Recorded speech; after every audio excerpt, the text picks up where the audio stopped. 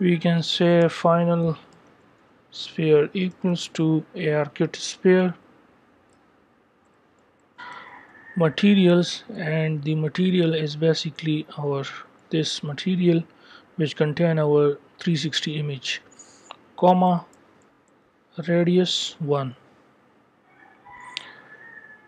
after the ARKit sphere we have to add the sphere to the geometry using the ARKit node so we can say final node equals to ARKit node. Geometry will be sphere. Position will be vector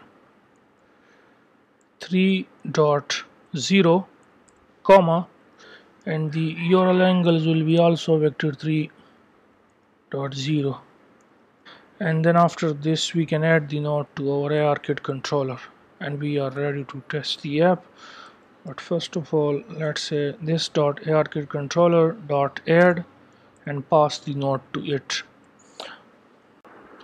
So now come back here to the main.dart and here we have to import the page which is our panorama screen dot dart and then make sure to remove this container. And we have our this screen which name is panorama screen class okay? So you can say panorama screen like this.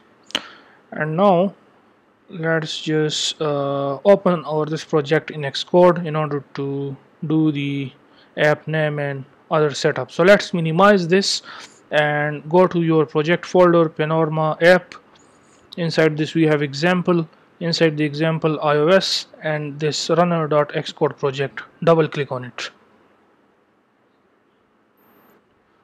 Trust and open. So first of all click here on this runner project okay? And on this runner project when you click make sure that you click on this runner. So in the general we have this display name. Let's change this to panorama app and then we have our bundle identifier. So here we have to provide our own I mean your own you have to provide.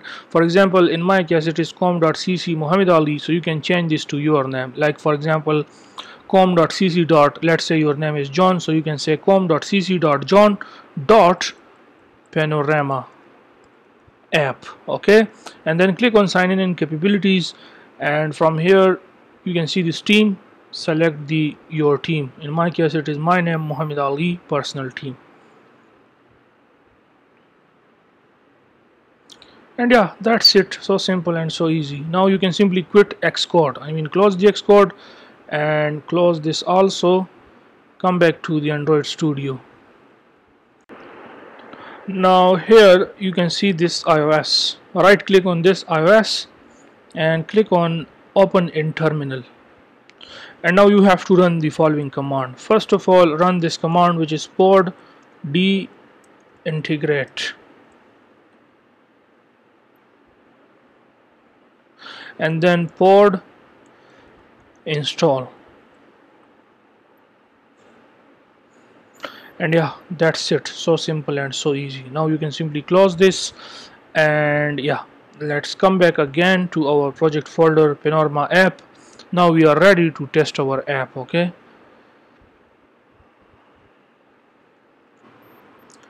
And now from here you can select your real iPhone. Make sure that it is connected to your laptop. So I am going to select my iPhone and then click on this play button in order to install the app on your iPhone. So let's wait for it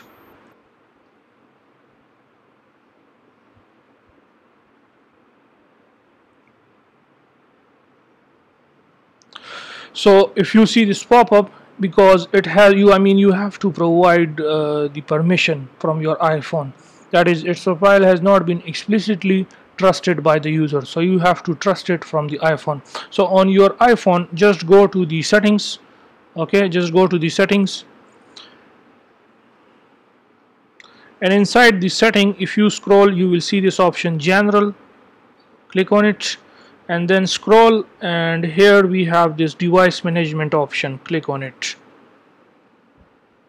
Uh, click on this Apple development. In here you will see this trust Apple development okay? Just click on it and then this pop-up this pop-up will appear. You have to click on trust. And yeah that's it. Okay? Now just click on this okay? And let's run the app again.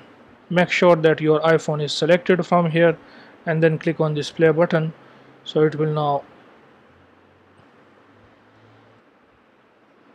install the app on our iPhone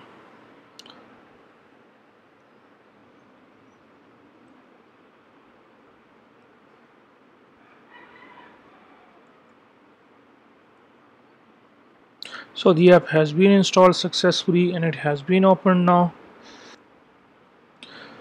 Click on OK. So here you can see this is our 360 three-dimensional image. As you can see I am pointing toward the earth. And now if you move your camera up and just start moving your mobile and you will imagine that you are in a 3D game as you can see here we are on the roof of a building and you can see it. Wow that is really cool and really nice. You can see it